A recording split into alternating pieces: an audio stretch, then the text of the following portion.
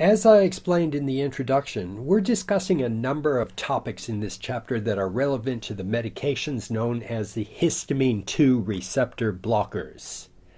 The term histamine receptor blocker is the term that we use for the entire group of drugs, or in other words, the drug class. Recall that the drug class is a set of medications that have a similar chemical structure and or they work by the same mechanism of action. So for instance, antacids are in a drug class that is against acid and they simply neutralize the acid in the stomach. As you'll see in this chapter, the histamine 2 receptor blocker also reduces stomach acid but it's not in the same drug class as the antacids because they reduce the acid in a completely different way, and we'll see how they work in this chapter. The individual medications within the drug class of histamine 2 receptor blockers are known by their generic name. Histamine 2 receptor blockers include cimetidine and famotidine. Look at those two generic names and tell me what is similar about them cimetidine and famotidine. And you were correct if you noted that those two examples end in the suffix tidine, T I D I N E, not just D I N E or I N E. That's important because other medications end in I N E and they're not histamine 2 receptor antagonists. So if you're ever looking at a person's medications and see a drug ending in the suffix tidine, you know that it's a histamine 2 blocker. Let's try that right now. You're looking at Mrs. DeGero's chart and notice that she's on the following medications. Nebivolol, cimetidine, mometasone cream, and clonazepam. Can you identify any members of a particular drug class in that list? And you were correct if you had said that cimetidine ends with the T-I-D-I-N-E, so it is a histamine 2 receptor blocker or H2 antagonist that decreases stomach acid.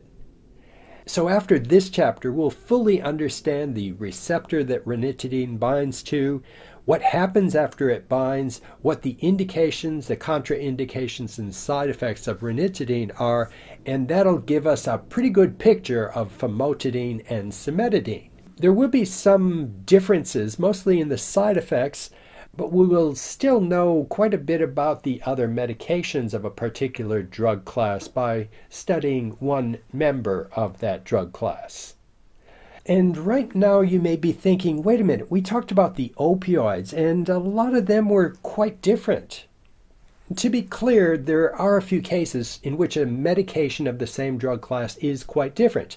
The opioids are one example because they're a very broad and diverse drug class. And that drug class is actually divided up into smaller units you won't find a common suffix of the entire group of opioids, but most drug classes with a common suffix have a lot in common to other members of the same drug class. So back to the medications that Mrs. DeGero is taking. Recall that in chapter 2 we spoke of nomenclature in the applying your knowledge portion of lesson 2. And there we learned that beta blockers ended in OLOL. The benzodiazepines end in azepam or azolam, and the corticosteroids have a number of drug prefixes and suffixes, including azone, cort, and pred.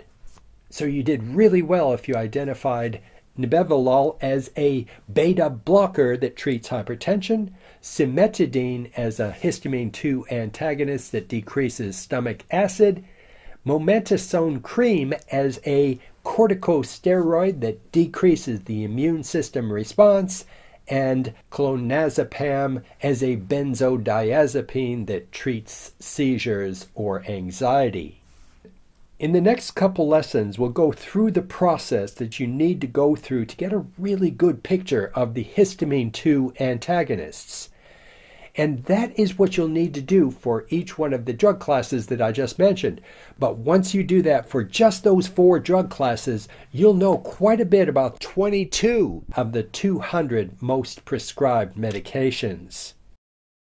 So let's take a quick quiz. You're looking at a client's medications and see that he's on the following medications famotidine, methylprednisolone, diazepam, and atenolol identify each drug class that the medications belong to.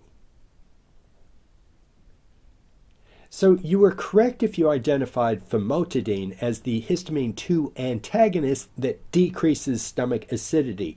That's the drug that we're going to get a really good picture of in this chapter. Methylprednisolone is a corticosteroid that decreases the immune system response.